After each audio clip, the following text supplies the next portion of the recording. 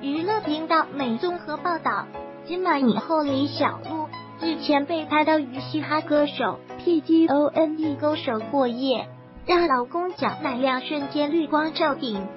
女方事后虽发声明否认此事，立马遭狗仔打脸，而当时也在场的好友马苏替其护航，没想到自己现在却也卷入其中，被影射是整体事件的始作俑者。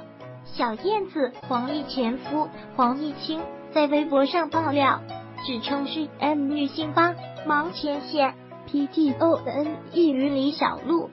根本是夜宿门着 PGONE 事件的始作俑者，更加马爆出该女星还曾带住几位女星与老板们有过性交易，被说是坐实圈内老鸨之称。虽然文中并没有有指名道姓直说 M 女星是谁，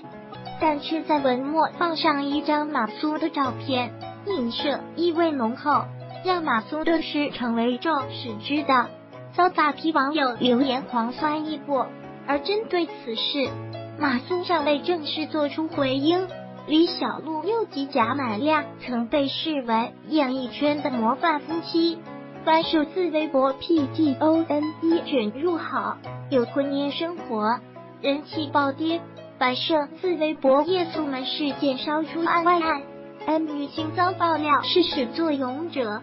翻摄自微博黄奕清没讲明 M 女星是谁，却在文末放上马苏中的照片。翻摄自微博。